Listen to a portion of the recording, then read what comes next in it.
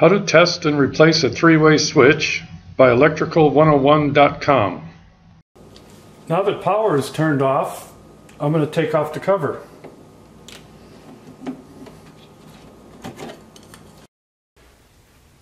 Let's go over uh, three-way switch wiring now that we have the switch out. At one end of the switch we have the common, the single common wire goes to the black terminal. And at the other end of the switch we have the two travelers that go to the silver colored terminals.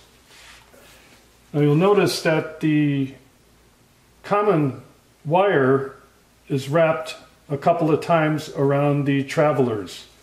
That's a very typical wiring configuration for three-way switches. It makes it very simple when you replace a switch to know where the wires go.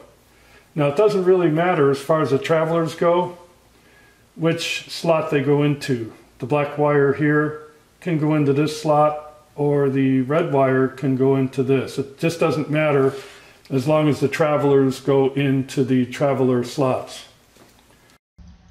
To test the three-way switch, toggle the switch to the up position and place the leads of a continuity tester on the common terminal and one of the traveler terminals. With the switch in the down or other position, place the leads of the continuity tester on the common terminal and the other traveler terminal. Now I'm going to test the switch, see if it's working properly.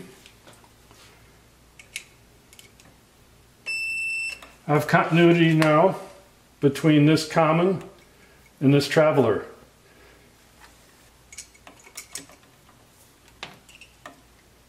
I do not have continuity to the other side, which I shouldn't. Now I'm going to toggle the switch. And now I should have continuity between the common and this traveler here. No continuity in that one. Now we have continuity there. So this is a working switch. If I do have to replace the switch, notice that the wires are plugged into a push-in connector on the back of the switch.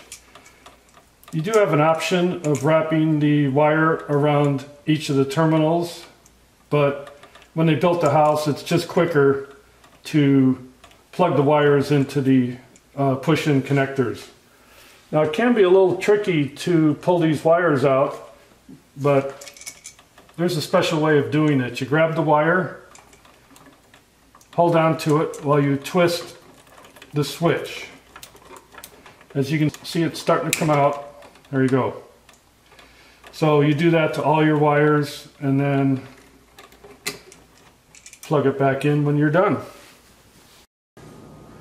When putting the switch back in again, I usually bend the wires at the bottom bend them up again toward the top of the box. That allows the wires to fold evenly as you push it back in. And we're going to tighten it up just enough so that these tabs rest against the drywall. There we go. Now you can put the cover back on and you're good to go. Hope you enjoyed this video. For more information, visit electrical101.com.